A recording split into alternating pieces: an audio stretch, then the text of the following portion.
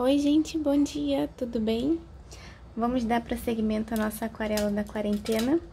Hoje é dia de pintar o biscoito. Eu fiz um biscoito aqui, muito mais ou menos, gente.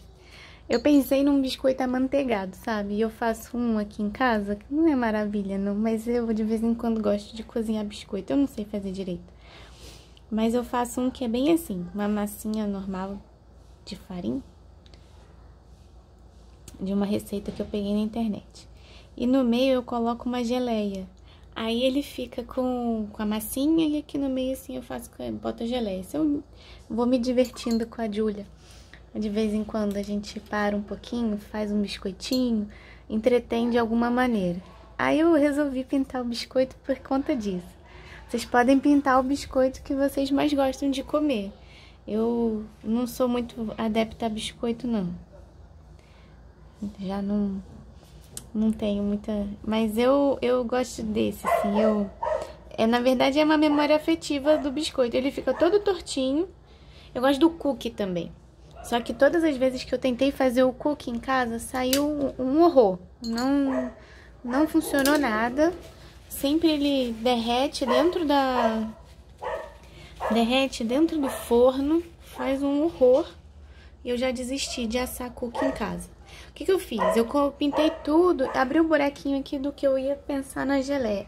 Eu gosto de usar uma geleia de uva, uma geleia de...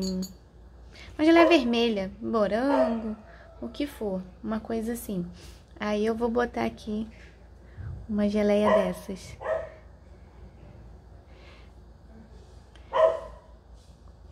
Se eu, se eu não tivesse tirado aqui o espacinho daqui de dentro, ele ia ficar muito borrado. Então eu fui e tirei um pouquinho. Vai demorar para secar, vou fazer o detalhe. Então vou fazer aqui mesmo, ele vai ficar todo borradinho essa pintura. Porque eu não vou esperar ela secar não. Mas é como se ele tivesse assim, um desenhozinho da própria massa, deixasse ele bem redondinho, ó, esse desenho do formato ajuda a gente a dar uma ideia de volume também.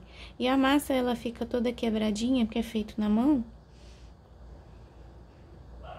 E a geleia meio que derrete em cima. Ó, totalmente assim, eu não sou nada confeiteira.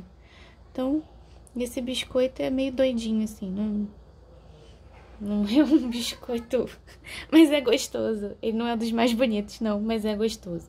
Então, contei pra vocês a história do biscoito e por que eu escolhi fazer o meu biscoitinho aqui pra aquarela da quarentena.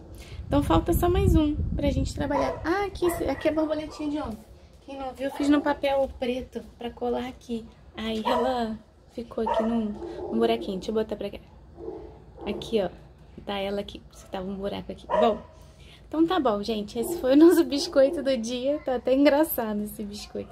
Mas eu quero ver o de vocês, depois vocês colocam, pode até dizer pra mim se não pintar, diz pra mim qual é o biscoito que vocês gostam de comer. Eu, eu realmente até gosto, particularmente gosto do meu biscoito todo doido aqui, mas me falem aí, façam seus biscoitinhos e me falem. tchau, tchau.